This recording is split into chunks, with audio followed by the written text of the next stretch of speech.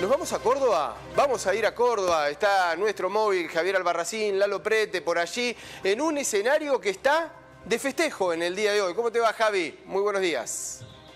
¿Qué tal, Mariano? ¿Cómo estás? Buenos días para vos, el saludo para todos. Bueno, una jornada eh, te diría más que otoñal, eh, bueno, primaveral, realmente hace eh, calorcito, el sol está poniéndose muy lindo y bueno, nuestro gran escenario que está detrás nuestro, el estadio Mario Alberto Kempe, que está de cumpleaños, 45 años para uno de los templos del fútbol sudamericano, fundado oficialmente un 16 de mayo de 1978, meses antes del Mundial, un partido que tuvo presencia recuartense entre la selección argentina y la selección de Córdoba en aquel momento, bueno, una historia realmente sensacional, bueno, mundialista con, bueno, los partidos de Perú, los goles de Teófilo Cubillas contra Escocia, aquí jugó Holanda, eh, los Países Bajos en aquel momento, bueno, tantas historias que podemos narrar desde Mario Alberto Kempe, que lo está enfocando Lalo allí, en la parte norte, digamos, donde eh, en su momento, bueno, van los hinchas de Talleres de Córdoba, del otro lado la popular eh, sur, donde están, bueno, habitualmente los hinchas de Belgrano, semana de clásico que no va a ser aquí, que va a ser en Alberdi el próximo domingo. Bueno, Javi, ha tenido obviamente transformaciones hoy por hoy,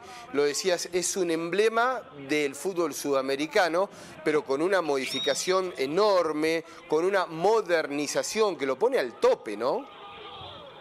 Sí, recordemos que cuando era el viejo estadio Chato Carreras hasta 2011, eh, que se hizo la remodelación para la Copa América 2011, eh, con, que se jugó aquí en la Argentina, que tuvo Uruguay como campeón, bueno, se les, eh, digamos, hizo prácticamente todo el cerramiento, recordemos que una de las plateas era descubierta y, digamos, de una sola bandeja, se puso una más por encima, se techó esa parte, no es un techo completo, por supuesto, pero sí el, techo, digamos, de, la mitad de la misma, así que, bueno, acá un escenario fantástico, por eso ha sido candidato a ser finalista con eh, finales de Copa Sudamericana, propio también en su momento lo será de alguna Copa Libertadores y por eso nos explicamos, bueno, por qué no va a estar en este Mundial Sub-20 que estaba pronto a comenzar. Bueno, ya fueron eh, esgrimidos los motivos, pero bueno, eh, hay un polo deportivo aquí que no solo es el Kemper, sino que también está el museo, hay chicos de atletismo y chicas que están entrenando en estos momentos. Digo, hay una actividad que por más que esté a las afueras de Córdoba es realmente incesante.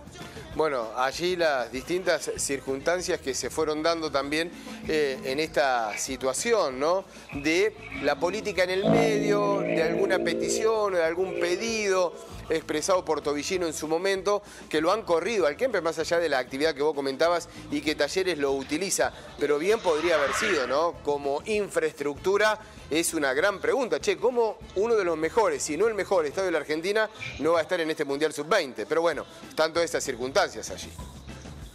Sí, totalmente. Aparte, no, solo es el tema del estadio en sí, sino también las comodidades que ofrece una ciudad como Córdoba a nivel turístico, hotelero, gastronómico. Creo que fue una posibilidad perdida, pero bueno, los motivos desde AFA es que no se pueden seleccionar mm. estadios que tuviesen actividad. Por eso eh, son los mencionados y por eso el mar de Ciudad de Santiago del Estero va a ser el que dé el punta inicial con Argentina y Uzbekistán bueno, en los próximos días. Usted que es un nostálgico, eh, está muy lindo el Kempes, está hermoso. Ahora, ¿cómo se extraña, no? Ya lo habían bajado un tiempo antes. Digo, ese cartel electrónico... ¿no? El, el, electrónico donde estaban los cuadraditos, los píxeles, armando Argentina 78.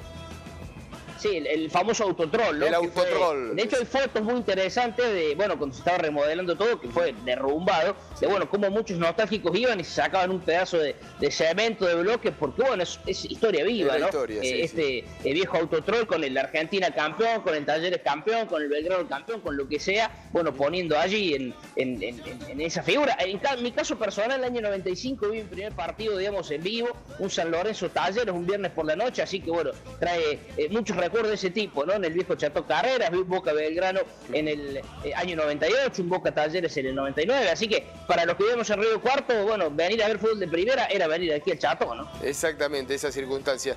Eh, y hoy por hoy, lo que decías, ¿no? Envuelto en un polo deportivo muy, pero muy atractivo, muy interesante, muy multi interdisciplinario, si se quiere. ¿Hay, hay festejos? Estaban organizados algunos festejos, ¿no? Allí en el Kempes.